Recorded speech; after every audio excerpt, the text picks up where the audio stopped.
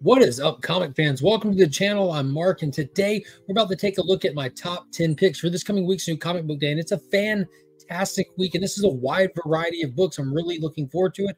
Let's get into it.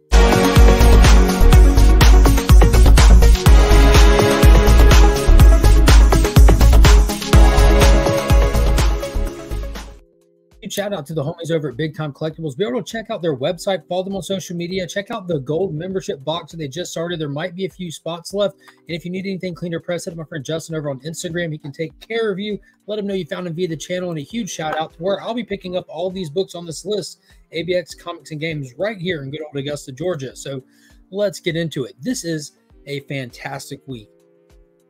Feels like it's actually a wide variety of books for once for me. It's not leaning too heavy one way or the other.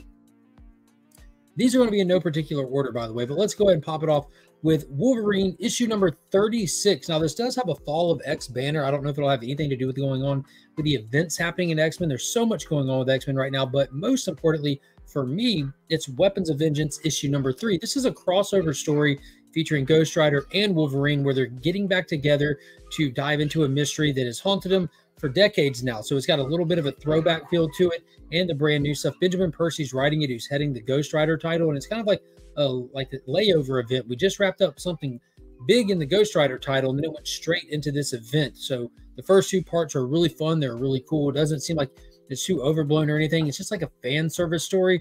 But uh, I'm all in on Ghost Rider. Like the Ghost Rider stuff right now has just been fantastic. And also for Marvel, what's been fantastic is Philip Kennedy Johnson's Incredible Hulk, kicking off with the Age of Monsters story arc. Issue number three is going to be diving into that cultish looking small town demonic possession that he found himself in the middle of with that hitchhiker that uh, is tagged along. So we're going to be seeing what exactly is in that town, taking over these people and watching Hulk take on a monster that could quite possibly be as big of the minds that are underneath this town. So a big, big, big excited for what's happening with the Incredible Hulk. It's such a breath of fresh air since that monstrous Donny Cates run. This is going to be a good one.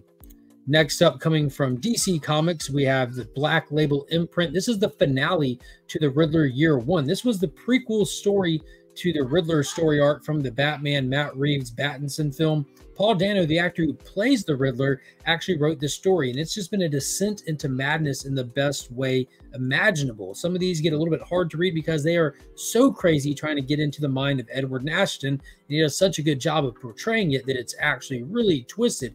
And you see, see yourself getting frustrated with the character of Edward. And in this book, it's supposed to kind of culminate in the big event that kicked off the movie. So it's supposed to be bookending right into the film. So I'm excited to see how they uh, cap it all off.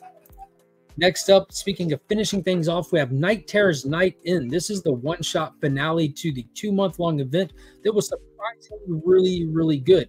I had to eat crow on this one. I wasn't excited. I was kind of trash talking the idea of them interrupting my Dawn of DC kicking off for an event that should have been saved till Halloween, but this actually was phenomenal. I'm excited to see what Deadman does with the realization of what happened that created the character Insomnia and how they're going to deal with all the nightmares from the nightmare realm brought to reality is what's going to happen with the nightmare stone. There's a lot of questions that are going to be answered and then they're supposed to be building out a new character. I think it's called like uh, dr it's not it rhymes with dr fate. Holy crap. Dr hate Dr. Hate is supposed to be getting brought in and introduced in this. But if you'll remember, there was a big tease with Dr. Hate with what was going on in the DC uh, Dawn of DC primer. We saw that Amanda Waller sent her team to Lazarus Island where the events of Lazarus Planet kicked off in the pages of Robin and World's Finest and all that. And she sent her team there to get a shard of what was left of the Helm of Fate. And uh, with that shard, Dr. Hate was born. So we're supposed to be seeing the follow up to that in this book. So if you're looking forward to what's going to happen with that and in the coming months with the big Amanda Waller stuff that they've been building to, you might want to check this one out as well. And speaking of events ending, we had another one beginning inside of the pages of the Batman comics. We have the Gotham War featuring Batman and Catwoman. Chip Zdarsky's writing this. I, I don't know if I really care. I'm going to be reading it. I do pick up just the main Batman title and Detective Comics. I don't pick up Catwoman. Don't really care. And uh, Batman's coming back from his multiversal adventure that he just was on in Chip Zdarsky's run right before Knight Terrors. He's licking his wounds and he's realizing Gotham's safer than it has been for a while, all because of none other than Selina Kyle Catwoman. I'm guessing he's not going to agree with her motives, and the two are going to have some issues, and the Bat family's going to split sides. I do know that Jason Todd is supposed to be siding with Catwoman in this whole thing, so get to watch the Bat family fight with each other. Yay! Next up, big smile on my face for Action Comics presents Doomsday Special. This oversized beauty is uh, bringing back the big man, the one powerful enough to drop the Man of Steel himself, Doomsday. He's been dead, but he reigns in hell, being the peak of physical strength, of evolution, of all these things. He is in hell and he is sitting on a throne.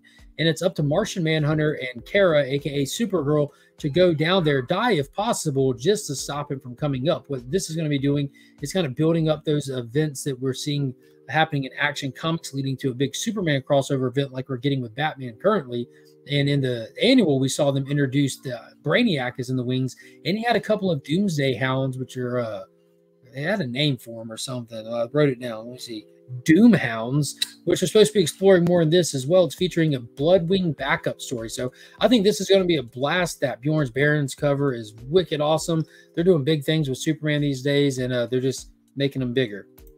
Coming in at number seven on my list, we have the finale to Danny Ketch's Ghost Rider miniseries. It's four issues in and out. This is one of the retro titles Marvel's been putting out, which have been a blast. We're just dealing with Danny and Johnny Blaze tag teaming to go fight Scarecrow and somebody else. Uh, just a like, regular old, uh, what do you call them?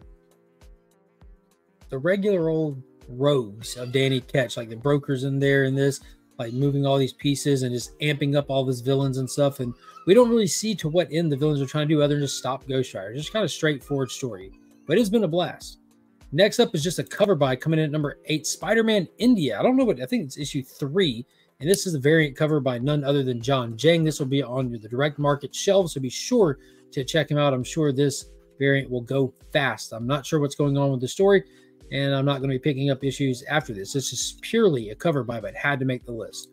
And speaking of anniversaries, we have the 30th anniversary of none other than the Mighty Morphin Power Rangers, hot on the heels of the uh, Dark Spectre showing up. We have the Darkest Hour event kicking off last week. It was a phenomenal read. That event has been being built up for years. Like this has just been a blast. So in this oversized issue, we have a bunch of writers and artists coming in, bringing five, I believe, stories to the table. Two of which are actually retro stories that they put into the book. So I'm all in for this. There's even a variant cover that has like the actual photo cover of the original crew from the Saturday morning show. Uh, these do have a 9.99 price tag due to their size, so I might have to just bite the bullet and stick with the A cover on this one. And for number 10, I have another cover buy for the final one. And we're going back to the Doomsday special with this beautiful Puppeteer Lee variant. That's just absolutely wicked. So be on the lookout. There's so many more good books dropping this week and so many more amazing covers out there.